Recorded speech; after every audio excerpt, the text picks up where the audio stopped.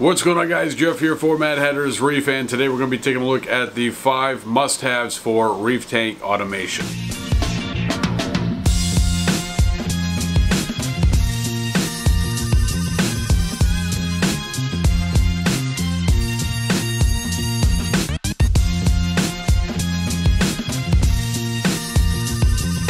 Welcome back to Mad Hatters Reef. If this is your first time being here, this is where I talk about everything reef tank related. So if you love reef tanks like I do, make sure you smash that subscribe button and don't forget to hit the bell so you can be updated every time that I upload a new video. Now in today's video, I wanted to take a look at the five must-have items for reef tank automation. Now what I wanted to do with this list was take a look at reef tank automation, but not go into controllers or anything like that. I wanted to make a budget-friendly reef tank automation list of products that is going to help all level of hobbyists. So let's take a look at the five must-have items for reef tank automation. All right guys, so in today's video we're going to be talking about the five must-have items for reef tank automation. Now this isn't something that you need to go out and buy yourself a Apex or even a Hydros or e-coral controller. This is stuff that you can do on a much smaller budget. Now, the reason that you may want to look at Reef Tank automation is it takes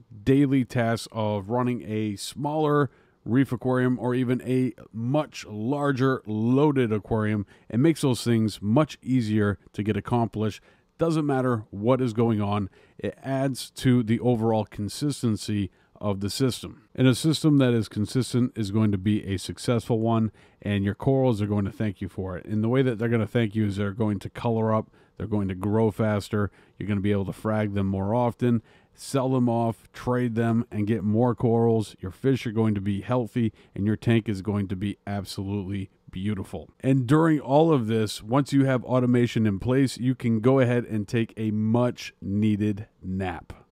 But again, don't forget that consistency is the key to success. Coming in at number five on the five must have items for reef tank automation is the Auto Aqua Smart Security System. Now, this smart security system is broken up into three different components. One, it's going to focus on the water level, the next one is temperature, and the last one being the controller of the skimmer. Now, each of these items are essentially plugs that utilize a temperature probe or photo eye to control whatever device is plugged into them. With the smart level security, if you plug a return pump into that device, if the water level exceeds or gets below the photo eye, it'll actually shut that pump off. So you don't have to worry about any more water being pushed into that section of the aquarium. With the smart temp security, you get a temperature probe instead of a photo eye that is connected to an outlet. And that has the ability to control the heater of the aquarium, whether it gets too hot or it gets too cold. It will shut off in the event that it gets too hot and actually throw an audible alarm so you know that something is wrong and you can go to your aquarium and check it out.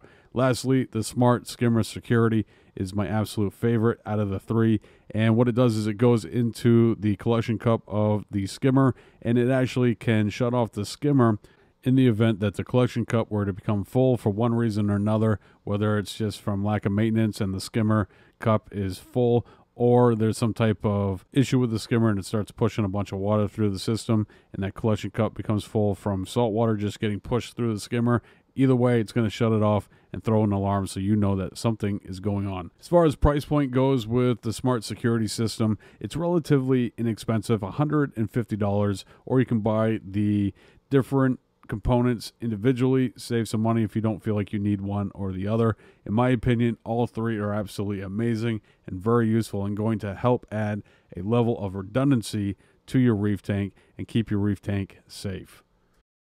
Coming in at number four on our five must have reef tank automation devices is the dosing pump. Now, this one specifically is the Kamoer, and this is a relatively new product to the market. And what it does is it actually can be accessed via Wi-Fi. Now, the importance of this is that the way in which it's built, it has a unbelievably strong stepper motor in this dosing pump, and you can access it via Wi Fi, which is absolutely awesome. Now, some of the benefits of a dosing pump is it actually can help with reef tank automation in the sense that if you are dosing calcium, alkalinity, magnesium, or even live foods, what have you, there are a number of different uses for a dosing pump. Not to mention that if you have two that are running simultaneously, you can do automatic water changes, which is absolutely phenomenal. Could you imagine having a reef tank where you no longer have to do water changes, yet water changes are actually being done weekly, not even actually weekly, daily, every couple of hours? Water's coming in, water's getting put in, and it's all happening without you needing to lift a finger. That's really going to increase your snack time. Just saying. I really think the Kamoer is a great dosing pump, and if I was going to be doing a automatic water change setup, I probably would go with the Kamoer. But if I'm dosing calcium, alkalinity, magnesium, I'm probably going to go with something that's similar to you see here with the JBJ and go that route as far as dosing pumps go. Ultimately, dosing pumps are the key to a stable reef tank, especially when you're talking about parameters such as calcium, alkalinity, magnesium. So, if you have a reef tank that is loaded with corals and you are not effectively doing enough water changes to keep those calcium, magnesium, alkalinity levels stable, the use of a dosing pump is going to dramatically increase the stability of your reef tank and going to add to the success of it. So definitely check them out if you have a tank loaded with beautiful, fast growing corals. Coming in at number three on our five must have items for reef tank automation is the Eheim Auto Feeder. Now, there are a number of different auto feeders out there. In my opinion, the Eheim is the best. I definitely prefer that digital outread. And there's a number of different things that you can do with this auto feeder that you can't with other ones. Some of the older school ones are almost like an egg timer that runs 24 hours a day. So you're feeding your fish maybe twice a day. And much like you do with the Eheim digital feeder, uh, you select how much food is going to come out by moving the little lip on the bottom. And depending on how open you have that, and when it turns around, is how much food that comes out. The Eheim digital feeder is a little bit different in the aspect that you can set it up to do different times of the day at different days of the week. And it also can do one or two rotations per feeding, which, if you have some larger fish like I do, having that ability to go around twice is going to add a little bit more food to the tank during those feedings so those bigger fish are going to get enough food and be happy. A auto feeder is a great thing to look into, especially if you travel a lot or you just want to increase the consistency of how often you are feeding your fish. Check it out, the Eheim Digital Fish Feeder. Coming in at number two on the five must have items for reef tank automation. And I had a hard time putting this guy at number two, and that is the auto top off. Now, this one specifically is the Tunze Osmolator, and it is absolutely hands down the best auto top off that money can buy. I've had one on the 220 gallon reef tank for uh, three ish years now basically since the tank has been up, and it has not failed me. Not even the pump has been replaced yet, and it is absolutely bulletproof. Now, the importance of an auto top off is that as you heat your aquarium, which most aquariums are being heated to about 78 degrees, there is a substantial amount of water evaporation in your reef tank. And as that happens, your water evaporates and your water becomes more and more salty. So that salinity increases in your tank. Not only does your salinity increase, all your parameters are kind of getting thrown out of whack at the same time. And essentially, what's happening is everything that is in your salt water that can evaporate is getting condensed into a higher or more potent version of what it really should be because that water volume is leaving the tank.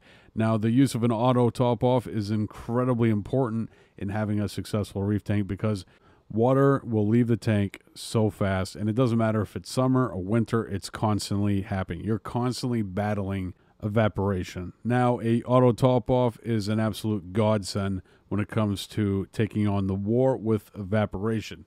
And you don't have to necessarily go with a Tunze, which has a pretty high price tag. You can go with something that's a little bit more budget friendly such as the IceCap ato I absolutely love this ATO just as much as the Tunze.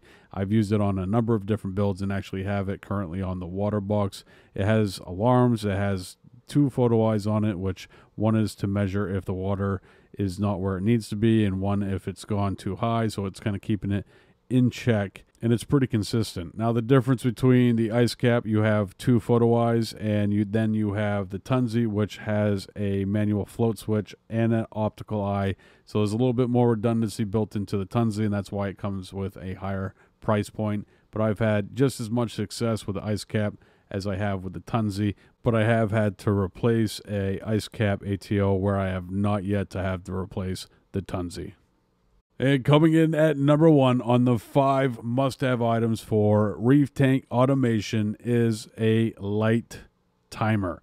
These are probably the most inexpensive item on this list, but yet probably one of the most important. And I got to say, I had a little bit of a internal struggle when I was comparing an auto top off to a light timer and what the relationship was between the two of them to a reef tank and as a reef tank hobbyist, how I felt when I finally got my hands on one of these and what it did for my reef tank.